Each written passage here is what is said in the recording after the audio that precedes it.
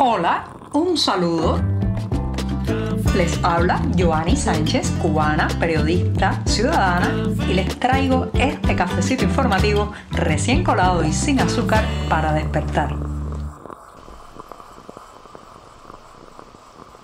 No hay mejor cafecito informativo que el del viernes, porque de alguna manera se trata de un programa resumen con los mejores temas de los últimos días, pero también tiende el puente noticioso para reiniciar este podcast el lunes. Así que este 17 de diciembre de 2021 estaré comentando los temas principales, las cuestiones principales que eh, pues han sacudido la opinión pública cubana en los últimos días y lamentablemente tendré que comenzar con la noticia de un derrumbe que ha vuelto a ensombrecer la ciudad de La Habana. Pero antes de decirles los titulares, voy a pasar a servirme el cafecito informativo ya saben, está recién colado, así que voy a ponerlo en la taza. Lo dejo aquí a mi lado. Y mientras tanto, les comento los temas principales de este viernes, que les decía, iba a empezar con esa una de esas noticias que lamentablemente se nos ha vuelto común en la ciudad de La Habana y son los derrumbes, los desplomes de edificios que muchas veces se cobran la vida humana, como es el caso del derrumbe ocurrido en la noche de este jueves en la zona de Monte y esquina con la calle Ángeles, donde hasta ahora los cómputos oficiales apuntan a un fallecido y varios lesionados, aunque el número puede subir dramáticamente en las próximas horas.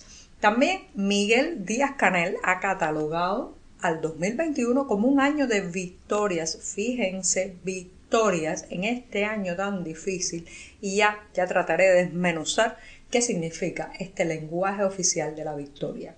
También en un tercer momento el juicio contra el joven de la pancarta Luis Robles, que les comentaba en este podcast, ayer era la vista oral, pues ha concluido bajo un fuerte operativo policial y la Fiscalía le pide seis años por su acto pacífico de civismo en una calle de La Habana. Y por último, no me voy a despedir hoy con una pincelada literaria ni musical, sino ideológica.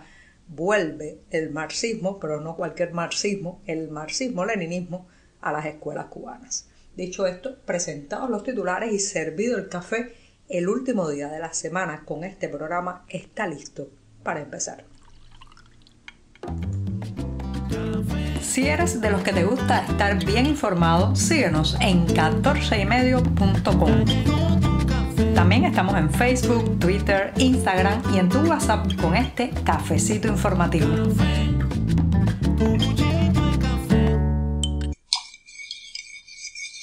Termino de refrescar el café con esta cucharita, de paso hago el chin que ya saben es la música distintiva de este programa que ahora viene la pausa de sábado y domingo y ahora me voy a dar el primer sorbito del día, el más esperado, el más deseado y sabroso.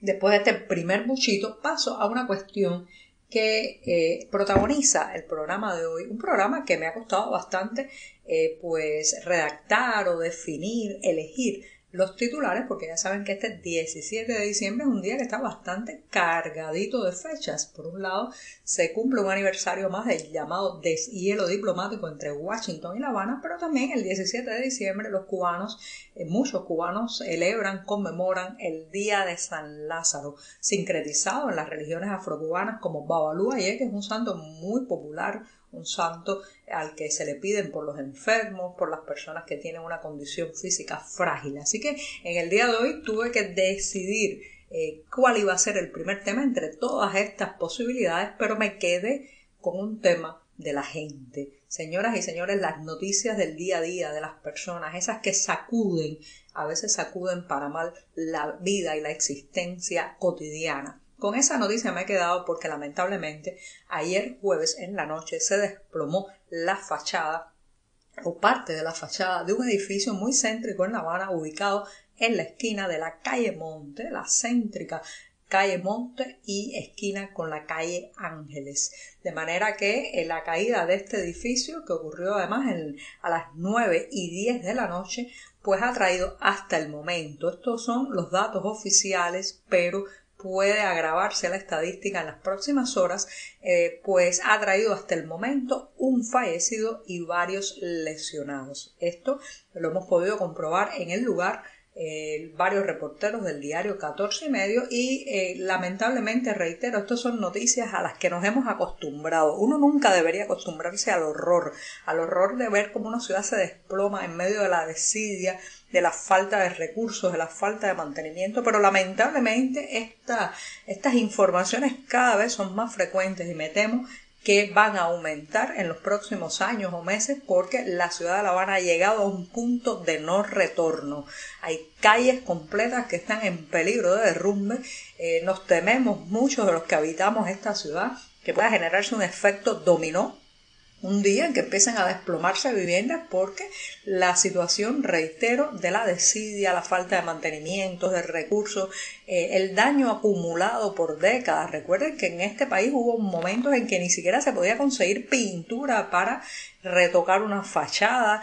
También está el tema de las llamadas barbacoas, que son divisiones improvisadas que se hacen a las viviendas. Una división eh, eh, para generar un espacio adicional, para poder poner en otro espacio creado por arte de magia prácticamente a la familia que sigue creciendo. Todo eso, señoras y señores, está dando al traste con una ciudad que un momento fue hermosa, fue bella, pero que ahora se nos está cayendo a pedazos y convirtiéndose en una trampa mortal para muchos. Así, así le ha ocurrido al menos a un transeúnte que pasaba por la calle Ángeles cerca esquina a Monte cuando se desplomó esta fachada de un edificio que todo el mundo había alertado por años, los vecinos, las personas que, que transitaban cerca habían advertido que ese edificio era un peligro de muerte. Tuvo que morir una persona, tuvieron que ser heridas otras para que ahora pues las autoridades corran con sus ambulancias y sus equipos de rescate. Pero ¿qué es lo que está pasando en esta ciudad donde se siguen construyendo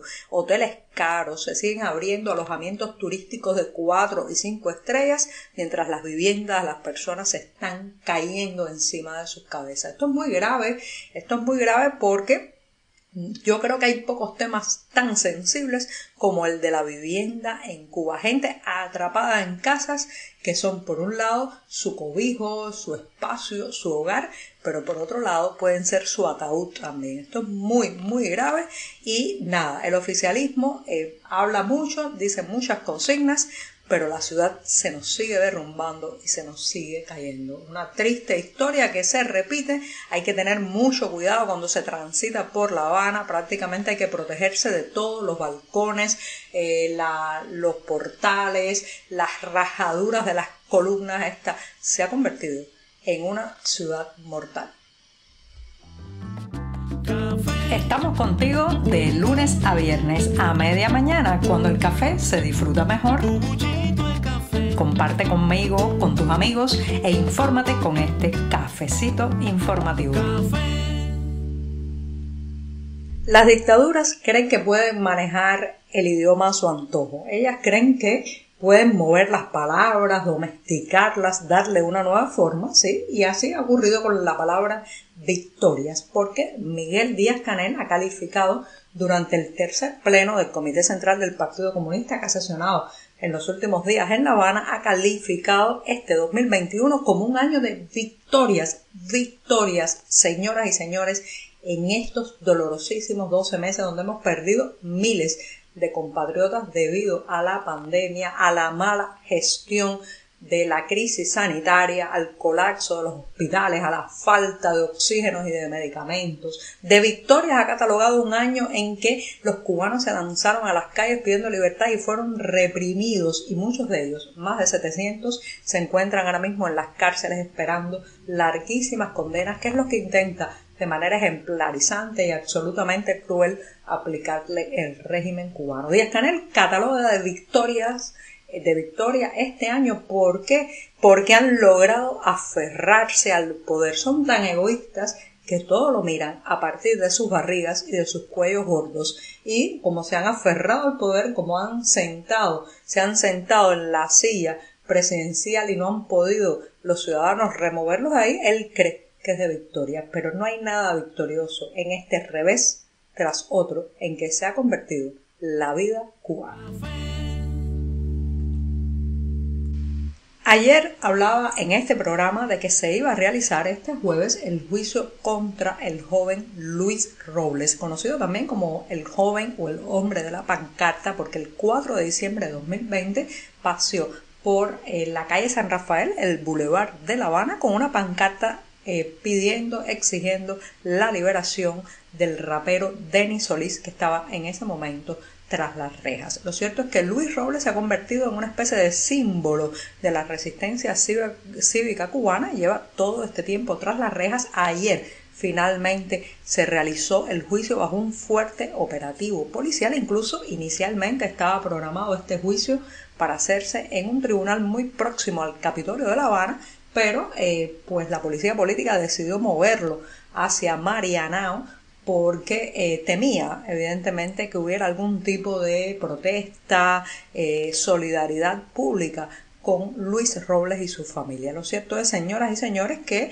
el juicio concluyó, ni siquiera se presentaron testigos, solo se presentó el video de la protesta de Robles y la fiscalía pide la friolera de seis años, seis años a un joven que solo sostuvo un cartel pidiendo la liberación de un detenido. Este es un caso, señoras y señores, simbólico y para su estudio porque todo esto está grabado. Hay un video que les recomiendo a los que no lo han visto que pues se acerquen a él porque se ve en breves minutos a este joven caminar de forma pacífica, cívica, sin gritar, sin insultar, con mucha compostura por el bulevar de La Habana con este cartel. Algunos transeúntes, sobre todo algunas mujeres, defienden al joven cuando la policía lo arresta, pero no se ve en ningún momento ningún tipo de, eh, de esfuerzo por parte de Robles para resistirse al arresto. Por tanto, estamos viendo un digamos, una protesta cívica pacífica en estado puro prácticamente. Y eso, ni siquiera eso, tolera el castrismo y le están pidiendo seis años al joven de la pancarta. Estuve buscando una noticia inspiradora desde la literatura, las artes escénicas, la música para cerrar este programa de viernes, pero lamentablemente, señoras y señores, no son tiempos de eh, mirar la realidad de modo edulcorado ni eh, mirar la parte rosa de la vida y me he quedado con una pincelada ideológica, ¿sí? una pincelada ideológica porque justamente en este pleno del Partido Comunista Miguel Díaz Canel ha dicho que se necesita extender la enseñanza del marxismo, pero no de cualquier marxismo, del marxismo-leninismo en las escuelas cubanas. O sea, ante lo que este dirigente partidista ve como una falta de preparación ideológica, histórica de los jóvenes cubanos, le quieren dar más cucharadas de marxismo-leninismo. Y con esto, sí me despido hasta el lunes, que disfruten este fin de semana. Por hoy es todo. Te espero el lunes a la misma hora. Síguenos en 14medio.com. También estamos en Facebook, Twitter, Instagram y en tu WhatsApp. No olvides, claro está, compartir nuestro cafecito informativo con tus amigos. Muchas gracias.